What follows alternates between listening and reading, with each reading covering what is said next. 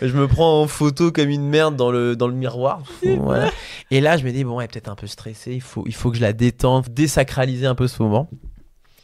Et, et j'ai une idée dans ma tête qui est la pire idée du monde. Je prends la capote.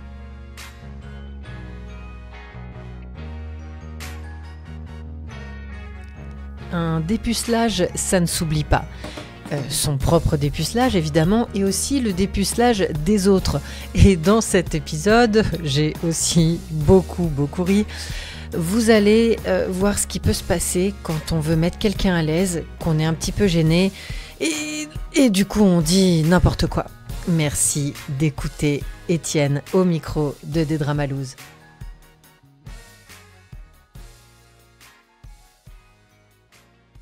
Je me retrouve en soirée, j'étais célibataire, ça faisait peut-être euh, pas mal de temps que j'étais célibataire, puis j'avais eu qu'une meuf avant, donc j'étais pas un mec, enfin, puis moi j'ai jamais été très bon avec les meufs.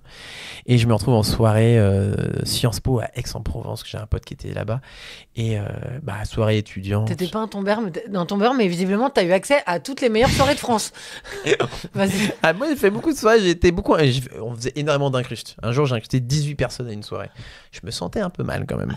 Mais à 18 c'était, ouais, c'était, bah été un peu dépassé par les événements aussi en fait. euh, Et Aix-en-Provence. Et donc à Aix-en-Provence, on picole, on picole, puis je vois une fille que je trouve trop mignonne et tout, et puis donc je, je vais parler à sa pote qui est moins mignonne en disant hey, j'adore ta copine, elle est super mignonne. et Mauvaise stratégie. Mauvaise stratégie. Et je suis trop bourré, et en fait, euh, bah, j'ai chopé celle-là quoi. J'étais jeune, enfin j'avais pas couché, avec- j'avais couché qu'avec une meuf, donc euh, et donc on va chez elle et tout, machin et tout, et elle me dit ouais j'ai jamais couché avec un mec. Je suis ah, putain et tout, machin et tout. Moi je suis archi bourré en plus. On commence à faire l'amour, je suis sur elle, je lui dis attends, tu vas plutôt venir sur moi parce que sinon je vais vomir. Ça commence bien. Donc on met la capote et moi je dis putain vas-y, il faut vraiment euh, voilà, faut que ça soit cool. Voilà, je- j'ai envie qu'elle passe un bon moment et tout quoi. Et donc commence à baiser puis avec l'alcool évidemment, moi je galère à bander et tout. Et donc il y a un moment Tu me fais le geste du point qui lâche. Et donc, à moment, je fais, attends, je vais un peu, je vais vite fait aller aux toilettes. Elle a des toilettes dans sa, dans sa chambre, c'est une sorte de petite salle de bain dans sa chambre. Et, donc, elle, elle m'attend et tout. Tu sais, j'ai la, capote un peu qui traîne un peu au bout de la bite, quoi. et là, je suis vraiment, je suis ivre mort. Je suis avec mon téléphone en plus. Je me prends en photo dans la.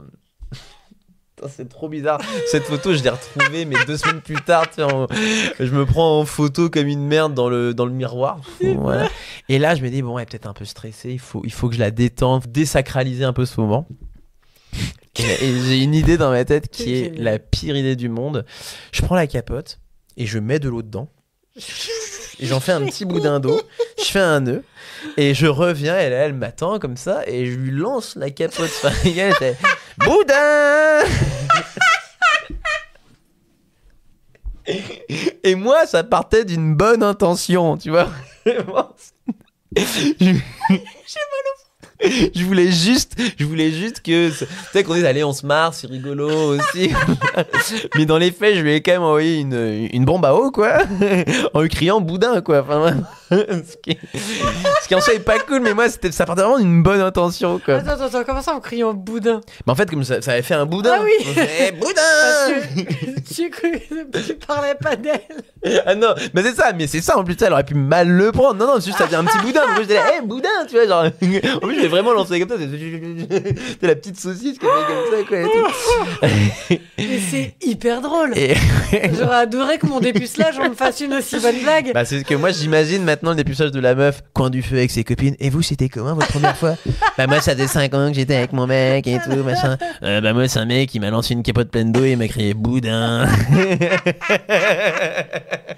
Juste après m'avoir vomi dessus. Ah, putain. Et j'ai le souvenir. Et donc, elle a, elle a réagi comment? Et bah voilà, j'ai Elle a le. ri un peu. Et ben moi j'ai le souvenir qu'elle a bien réagi, ouais. J'ai le souvenir qu'elle a bien réagi et en vrai, après on, on a vite fait fait l'amour et tout et euh, bon, c'était vraiment nul. Puis en plus, enfin, c'était nullissime.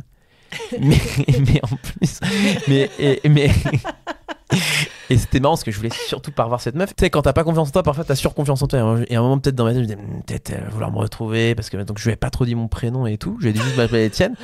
Et, euh, et à l'époque, j'écrivais dans un, un, webzine. Du coup, j'ai écrit un webzine euh, culture avec des potes et c'était trop bien. Ça marchait plutôt bien. Donc on a accès à plein de stuff et tout.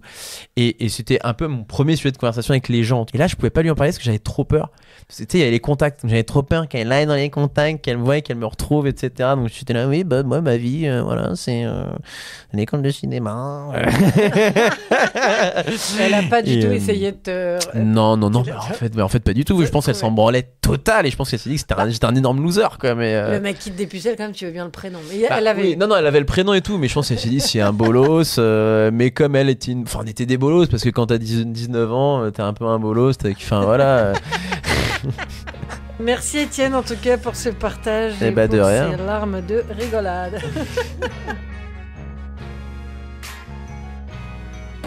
J'espère que cette histoire vous a plu. N'hésitez surtout pas à aller sur notre Instagram des dramas podcast et à nous envoyer un petit résumé d'une loose. Peut-être que vous serez sélectionné pour venir nous raconter ça au micro de des dramas. Et n'oubliez pas, si vous travaillez dans une entreprise, une vraie entreprise avec des bureaux, avec des gens, avec des chemises et tout ça, sachez que mon agence s'appelle Aux Éclats. Vous pouvez tout retrouver sur oséclats.net, o z e c l a.net et nous proposons des formations, des team building, des animations, du spectacle sur mesure et surtout des murder parties immersives avec comédiens. À très vite avec Éclats.